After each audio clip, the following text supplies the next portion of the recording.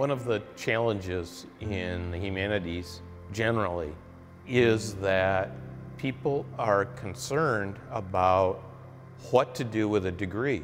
What we provide in religious studies is an answer to that question.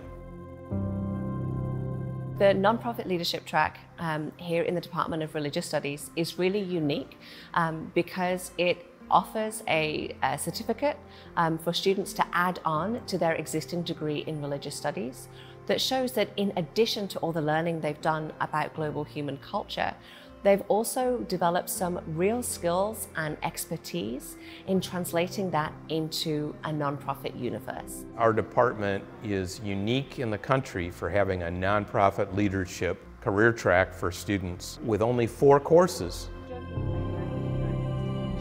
A nonprofit is more expansive than we often think about, right? And they can be public or private.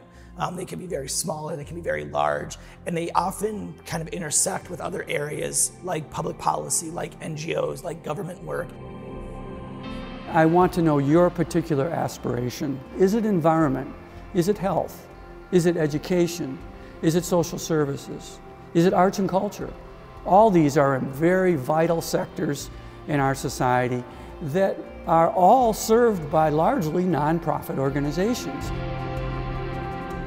So students should really think about adding the non-profit track to their degree programs and because it allows them to show very concretely on their university transcripts that they have already begun to think about what it means to translate all the learning that they've done in the classroom into a real life applied workplace and that the experience of studying global human culture um, through religious studies um, has already led them to think about how they can work to make the human experience better within a nonprofit marketplace.